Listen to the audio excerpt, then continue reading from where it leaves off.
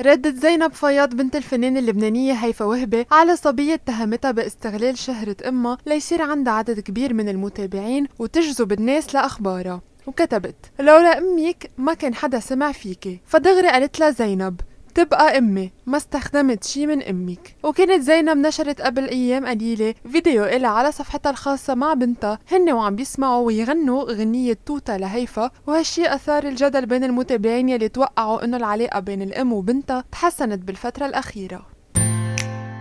تعرض الفنان المصري محمد رمضان لموقف محرج بأحد المهرجانات بدبي ووقع على المسرح هو وطالع يستلم الجائزة يلي حصل عليها. ودغري انتشر الفيديو على مواقع التواصل الاجتماعي وكثرة التعليقات. فالبعض سخر من محمد. أما البعض الآخر تعاطف معه. ورد الفنان على يلي صار ونشر المقطع يلي بين فيه هو وعم بيوقع وعلق ثقة في الله. ما بيوقع إلا الشاطر. رفع جمهور فريق الوحدة السوري يافطات ضخمة مكتوب عليها عبارات بيقولها الممثل السوري تيم حسن بشخصية جبل شيخ الجبل بمسلسل الهيبة الرد وهالشي بأكد النجومية الاستثنائية يلي حققها تيم بهالعمل وقديه صارت شخصية جبل عندها تأثير كبير على الجمهور. من جهته عبر تيم عن سعادته بردود الأفعال الإيجابية يلي وصلت للجمهور. وعلق المحبة والنجاح بصورة. الحمد لله فرحة كبيرة الليلة وفرحة أسرة مسلسل الهيبة الرد كمان. تحية كبيرة للفريقين الكبار وجمهور الفريقين الكبير الوحدة وتشرين الله يحميك سوريا.